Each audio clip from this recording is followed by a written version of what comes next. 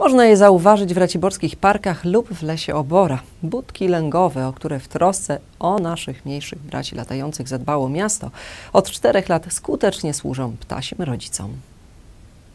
W 2014 roku zawieszono je we wszystkich parkach w mieście. Niepozorne budki lęgowe to wielka pomoc i prezent dla naszych skrzydlatych przyjaciół, których w Zielonym Raciborzu jest mnóstwo i których spora część jest pod ochroną. Wśród nich są jeżyki, to są ptaki, które bardzo długo niejako utrzymują się w, po, w powietrzu, ale też potrzebują dla siebie miejsca.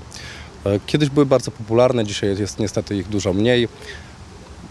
Możemy je spotkać właśnie w miastach i z racji tego mia- miasto postanowiło zakupić e, ponad 100, dokładnie 135 budek lęgowych. Niezwykle ważny jest rozmiar, który dobierany jest w zależności od gatunku ptaka. Staranne wykonanie z materiałów odpornych na niekorzystne warunki atmosferyczne, a także ze względu na bezpieczeństwo. Odpowiedniej wielkości wejście, które nie pozwoli na wtargnięcie nieproszonego gościa. Tych budek, e, tak jak powiedziałem, jest 135, 50 jest przeznaczonych dla jeżyków.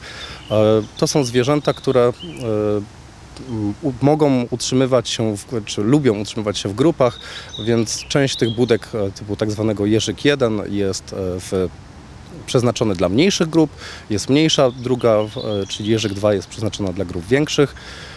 Kil, kilkanaście, kilka, około 20 budek jest przeznaczonych dla nietoperzy. One są umieszczone w lesie Obora. Te budki są troszeczkę inne.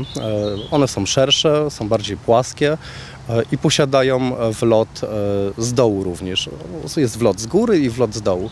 E, Po środku takiej budki znajduje się e, drążek, na którym nietoperze mogą po prostu sobie spać. To zarazem najtańszy i najlepszy sposób do ochrony ptaków. Co ważne, wiemy, że budki mają swoich lokatorów, a sprawdzane jest to regularnie, co roku podczas ich czyszczenia. One bardzo często korzystają dlatego, że e, mogą w ten sposób uniknąć po pierwsze e, drapieżnika, e, a po drugie ewentualnych e, anomalii pogodowych, deszczu, e, silniejszego wiatru.